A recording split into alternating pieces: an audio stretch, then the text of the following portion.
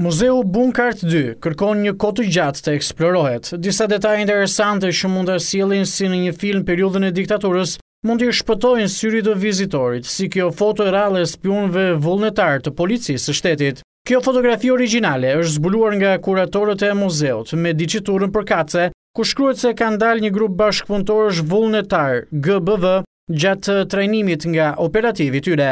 Ndryshe nga spiunët e sigurimit të shtetit që vepronin fshehtas, ata vepronin hapur. Spiunët kanë shenjat dalluese në krah, janë gjithsej nëntë vetë rreth moshës nga 25 deri në 30 vjeç, tre prej tyre janë gra.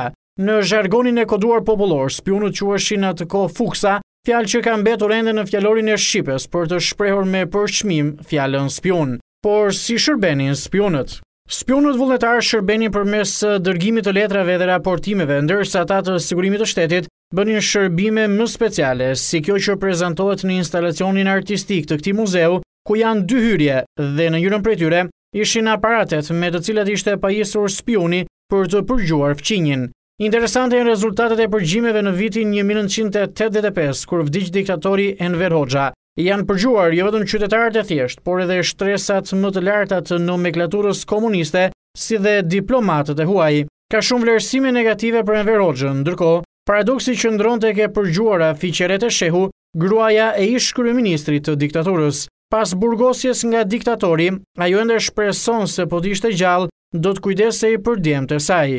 Shpresoja se do të ronte nëntëdhjetë vjeç, ka thënë ajo.